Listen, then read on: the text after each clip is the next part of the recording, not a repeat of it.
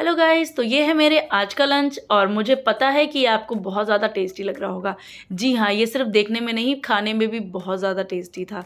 बहुत ही ज़्यादा आसान है। बस एक कप मसूर की दाल से बनाइए ये टेस्टी वाला सब्ज़ी और आप भी इस लंच को इन्जॉय कीजिए। एक कप मसूर की दाल को मैंने यहाँ पर अच्छे से धो करके एक घंटे के लिए भिगो दिया था। फिर उसके बाद हमें कुछ नहीं करना है। एक घंटे के बाद हम मसूर की दाल से सारा पानी अलग कर देंगे और इसका बना लेंगे एक गाढ़ा सा पेस्ट पेस्ट बनाते समय मैंने इसमें दो हरी मिर्च और एक इंच अदरक का टुकड़ा भी डाल दिया है। इससे थोड़ा सा मिर्च और अदरक का फ्लेवर आ जाता है इसमें। आप देख सकते हैं यहाँ पर थिक बैटर जो है वो पिस चुका है। अब इस बैटर में हम ऐड करेंगे हमारे बेसिक मसाले, क्योंकि हमारा तो बिना मसालों के नहीं चल सकता बाबा। मसालों में ही तो स्वाद है। तो सबसे पहले मैंने यहाँ पर नमक ऐड कर दिया है। नमक स्वाद के अनुसार ऐड कीजिए। उसके साथ मैंने यहाँ पर एक छोटी चम्मच गोटा जीरा, आधी चम्मच हल्दी पाउडर, एक चम्मच जीरा धनिया पाउडर, आधी चम्मच गरम मसाला पाउडर और आधी चम्मच चाट मसाला पाउडर। फिर मैं इसमें ऐड करूँगी प्याज। मैं यहाँ पर हरा वाला प्याज ऐड कर रही हूँ क्योंकि अभी ठंडी के मौसम में हरा प्याज जो है ना आपको आसानी से मिल जाता है। अगर आपके पास हरा प्याज नहीं है तो आप वाइट यानी रेड वाले प्याज को भी आप इस्तेमाल कर सकते हैं। थोड़ा सा टेस्ट में फ़र्क आता है, मगर हरे प्याज से ना इसका स्वाद बहुत ज़्यादा बढ़िया आता है। ऐसा मेरा मानना है। आप एक बार ट्राई करना, उसके बाद आप खुद ही जज करना कि आपको कैसे अच्छा लगा। तो मैंने यहाँ पर सभी चीज़ों को अच्छी तरीके से मतलब चार से पाँच मिनट तक फेंट लिया है। फेंटने के बाद अभी फिर मैं यहाँ पर इसे तल लूँगी। तो हमें इसके पकौड़े तलने हैं। मैं देखिए कितने स्टाइल से चम्मच से पकौड़े डाल रही हूँ। आप इसके शेप पे मत जाइए। कहते हैं ना, किसी भी बुक को उसके कवर से जज नहीं करनी चाहिए। तो बस यहाँ पर भी वही होगा। मैंने यहाँ पर फटाफट पकौड़े तल लिए हैं। चार से पाँच मिनट में सारे पकौड़े तलकर तैयार हो गए थे। उसके बाद मैं आपके साथ शेयर करूँगी कैसे मैंने इसका टेस्टी वाला ग्रेवी बनाया है। आप पकौड़े को उलट पुलट कर अच्छे से तल लें ताकि अंदर से वो कच्चा ना रह जाए।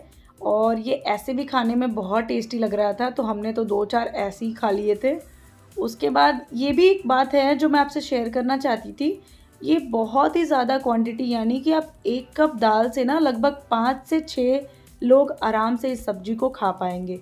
ये काफ़ी ज़्यादा बन जाता है थोड़े से क्वांटिटी में ही। तो यहाँ पर आप देखिए, मैंने सारे पकौड़े तलकर निकाल लिए हैं।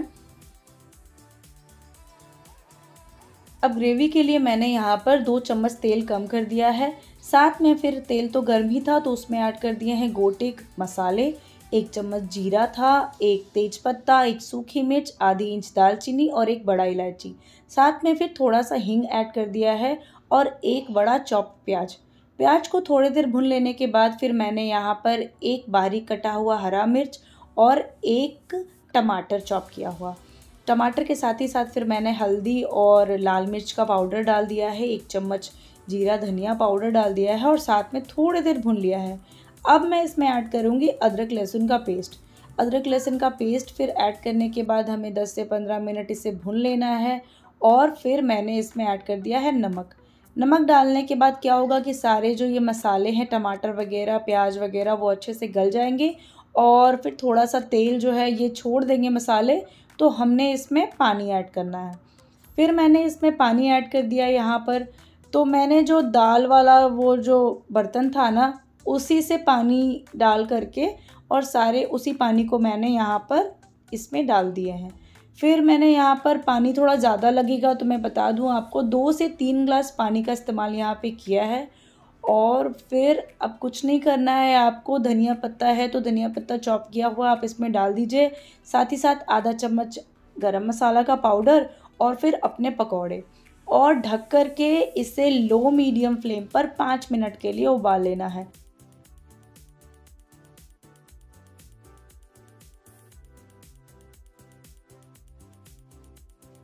और पाँच मिनट के बाद आप देखेंगे जो आपके पकौड़े हैं ना ये क्रिस्पी वाले वो एकदम सॉफ्ट सॉफ्ट और बहुत ही ज़्यादा उसमें ग्रेवी जो है अच्छे से चला जाएगा और खाने में बहुत टेस्ट आएगा। तो ये देखिए, पाँच मिनट के बाद आपका पकौड़ा जो है वो ग्रेवी के साथ कितने अच्छे तरीके से घुल मिल गया है और मैं आपको दिखाती हूँ यहाँ पर काट करके। ये देखिए कितना सॉफ्ट है। अंदर से भी मैं आपको यहाँ पर दिखाती हूँ, ये देखिए कितना स्पॉन्जी सा लग रहा है इसमें। हाँ ये लग रहा है ना बिल्कुल सूजी सा स्पॉन्जी वाला। तो ये बनकर बिल्कुल अच्छे से तैयार हो गया है। तो अब इसे हम फ्लेम बंद कर देंगे और ढक करके 10 मिनट के बाद फिर हम सर्व करेंगे। 10 मिनट के बाद आपका टेस्टी पकौड़े वाला सब्ज़ी जो है वो बनकर तैयार हो गया है। इसे खाइए इन्जॉय कीजिए और अगर आपके कोई सुझाव हो तो मुझे ज़रूर बताइए।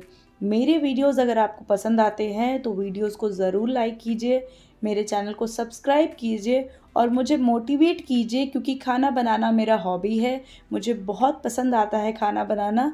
अगर आपको मेरे वीडियोस अच्छे लगते हैं या फिर मेरी रेसिपीज़ अच्छी लगती हैं या कोई और भी सुझाव हो आपके तो मेरे लिए वो बहुत ज़्यादा इंपॉर्टेंट है। तो मेरे साथ अपने सुझाव ज़रूर शेयर कीजिए। Thank you bye bye take care